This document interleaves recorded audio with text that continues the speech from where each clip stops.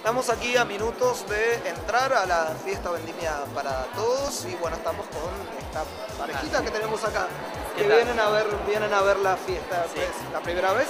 No, es la quinta vez mía.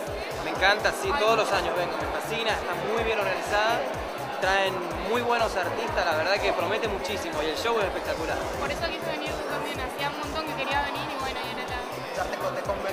Aquí Sí, sí.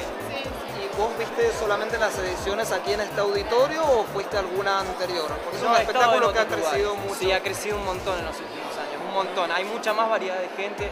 El, antes era un poco más exclusiva para, para la comunidad gay, claro, para la comunidad gay en Mendoza y ahora está mucho más abierta para todos, pero está muy bueno. Hay mucha gente que tiene mucho prejuicio al- a la hora de, de decidir de venir acá, pero, Sí, sí, sí, pero la verdad que es ilógico porque la verdad que el show es espectacular. Claro.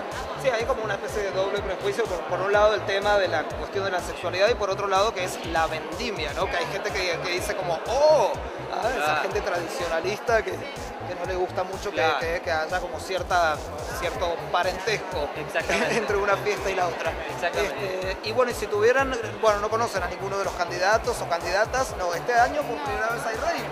Este año hay rey, sí. sí. Ay, no sabía. Así que bueno, podrían presentarse ¿eh? en una próxima temporada. Miren que eh, eh, este año, por ejemplo, bueno, en el caso de los candidatos, o sea, hay candidatos que son gays y candidatos Claro. heterosexuales, o sea que está como muy abierto todo, ¿ah? Bueno. Así que las chicas también pueden presentarse todas. bueno, Eso es lo mejor de la fiesta, inclusión. muy bien. Bueno, muchas, Muchas gracias. Muchas gracias. Muchísimas gracias.